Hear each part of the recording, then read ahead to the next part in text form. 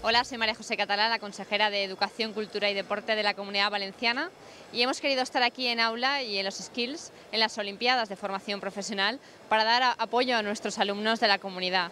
Tenemos una representación de más de 20 alumnos de nuestra comunidad en estas skills, estamos muy, muy, muy interesados en ver su evolución y la verdad es que hemos venido también para darles ánimo porque creemos mucho en la formación profesional. Pensamos que la formación profesional es importantísima para el futuro del tejido productivo de España.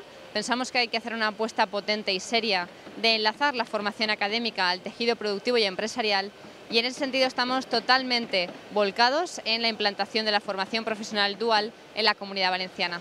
Pensamos que es una apuesta de futuro, pensamos que los jóvenes que están aquí representan a los jóvenes implicados con su formación académica e implicados con su futura inserción laboral.